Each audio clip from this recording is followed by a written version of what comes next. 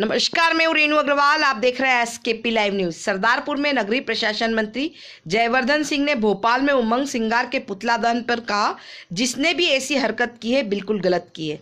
उसमें जो भी समर्थक हैं, वह न दिग्विजय सिंह के हैं, ना ही कांग्रेस पार्टी के हैं। यह गलत है, मैं इसकी निंदा करता हूँ।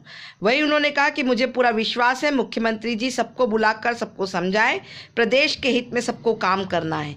देखें खबर एसकेपी लाइव न्यूज़ पर।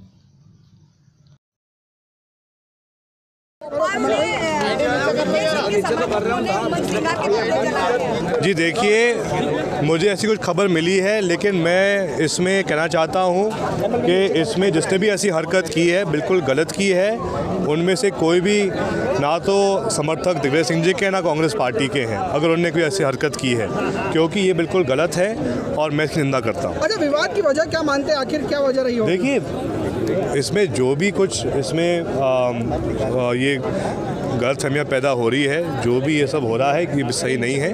और मुझे पूरा विश्वास है कि माननीय मुख्यमंत्री जी सबको बुला के सबको समझाएँ कि सबको प्रदेश के हित में काम करना है प्रदेश के विकास के लिए काम करना है। और जो भी बात अगर कुछ पार्टी की है तो पार्टी के फोरम में रखें। कम्युनिकेशन की कमी है कम्युनिकेशन की कमी है लगता है देखिए वो और मन, मतलब मंत्रिमंडल में कम्युनिकेशन की कमी है। ऐसी बात नहीं है। आ, जो भी इसमें कुछ आ, जैसे मैंने कहा है जो भी इसमें कुछ गलत फहमी या जो भी कुछ हुआ है इसको जल्द से जल्द क्लियर करना चाहिए। मैं कहना चाहता हूँ।